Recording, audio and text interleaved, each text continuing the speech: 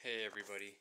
Today was supposed to be an unboxing and setup video, but I recorded it and then when I played it back there was no audio on it. There was a glitch on the video camera here and so I went through and set it all up and now um, there is no unboxing. So there are the boxes. We had a shipment from Intellijel and another shipment from Big City Music in California and we are going to look at the new components and do a little sort of uh, show you what they sound like.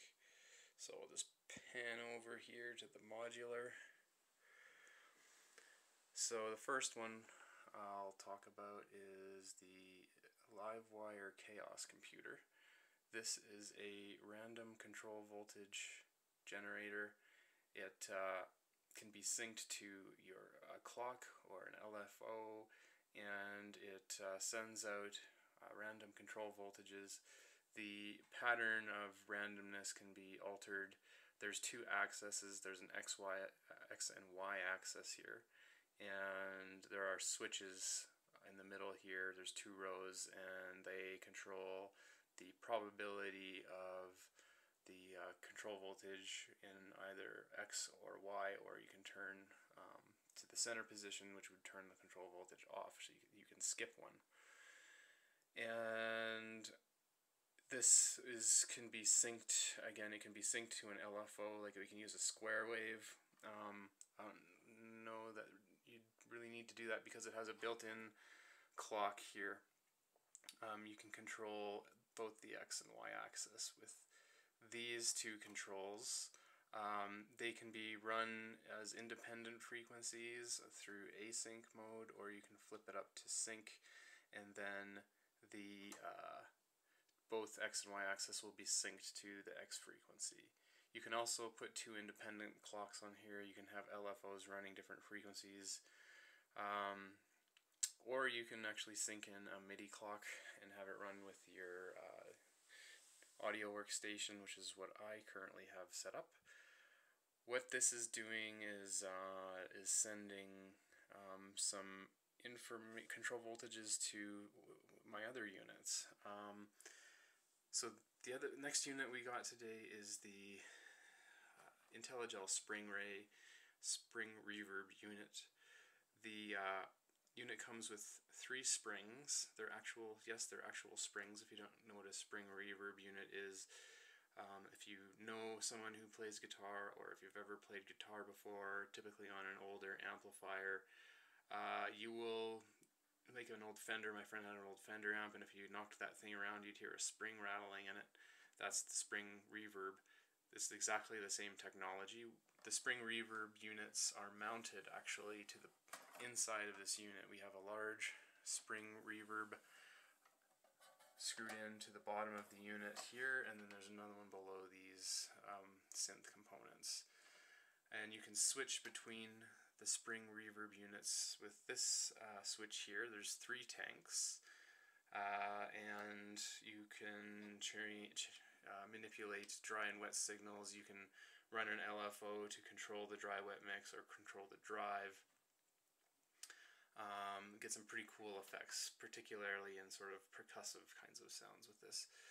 And then I wanted something to make the random control voltages coming out of the chaos a little more musical, which is what the third component is here.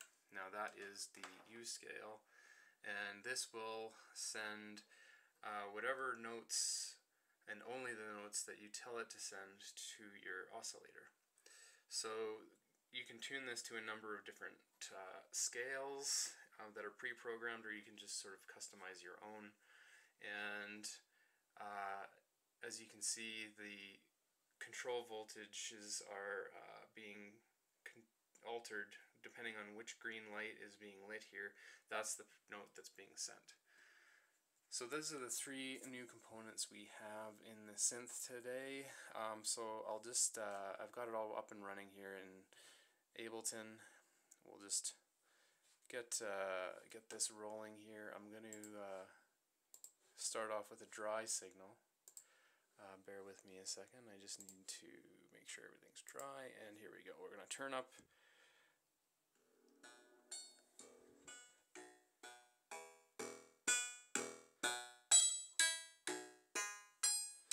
this is coming out and uh, it's kind of running at 125 beats per minute. It's running on uh, the gap saw setting in percussive mode uh, on the shapeshifter and percussive mode on this unit will, uh, when you've got the um, unit sync synced with the gate, in this case we have it synced with the gate of the Chaos computer, the unit will actually create a simple simple envelope for oscillator 1 which is coming out of there. And so we have a little short decay on there a nice little percussive sound. So that's uh, that's what's going on there. And I'll show you the spring reverb unit here which is currently set up on the largest spring. So I'll turn up the wet mix here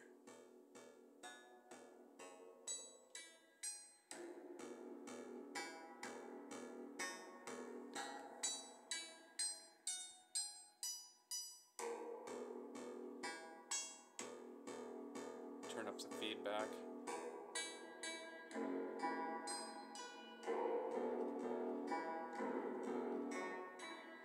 Switch to the medium tank.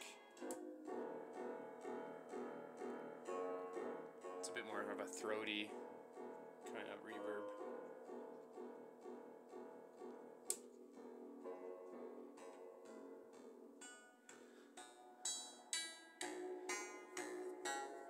And then finally the uScale.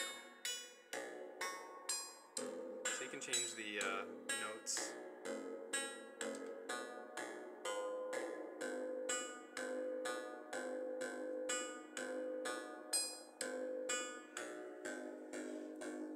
So I'll add a little delay onto this on Ableton, get some cool effects out of it.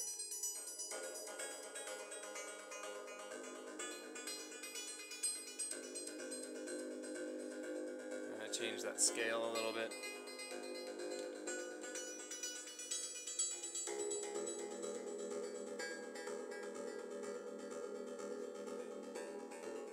Now we also have a second oscillator running out of the shapeshifter which sounds like this.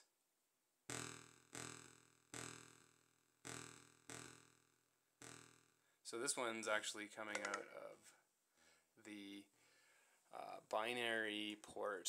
Um, which is even more random. It's not really synced to uh, the same gate. It's a different gate. You're getting only some of the signals through this one, so it's uh, it's a little less frequent but still random.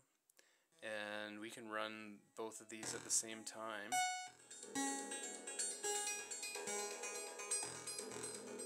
Sort of a nice little bass punch going on there.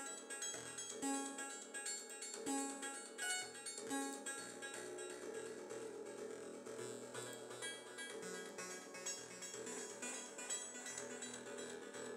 got a little drum